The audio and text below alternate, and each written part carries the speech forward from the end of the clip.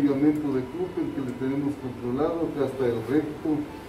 Eh, estamos ampliando esto porque es una, ah, una, una, una, hernia grande, directa y además eh, tiene bastante grasa. Entonces es importante aquí disecar el ligamento de Cooper. Miren acá y acá